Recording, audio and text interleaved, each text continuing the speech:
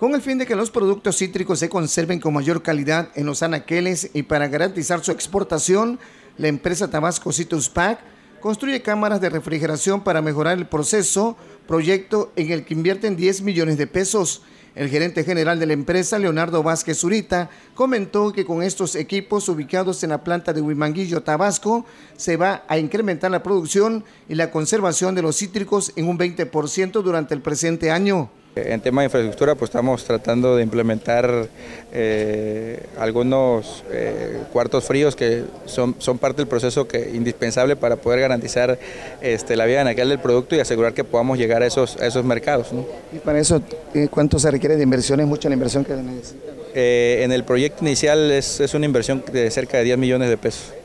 para poder hacer todo lo, que son cámaras de refrigeración. Es correcto, cámaras de, de refrigeración, hay un un eh, que incluye un cuarto de conservación, eh, un, equipo que se llama Precooler, que lo que hace es bajar la temperatura de la fruta en dos horas de 26 grados a, más o menos los 10 grados. ¿no? Dijo que las cámaras de refrigeración estarán concluidas en el mes de abril, con lo que se espera aumentar la capacidad de conservación para la exportación, pues anualmente están comercializando un millón de cajas de limón de 18 kilos cada una. Nosotros estamos exportando cerca de un millón de cajas este, que representan cerca de 18 mil toneladas al año.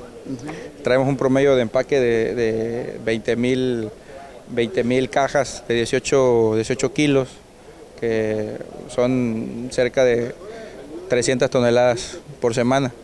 Precisó que el 95% de la producción de limón persa se exporta a los Estados Unidos, Canadá y Europa. Con esta actividad se generan más de 3.000 empleos entre directos e indirectos. Con imágenes de Álvaro Falcón, Marcelino Ramos, Noticias TVT.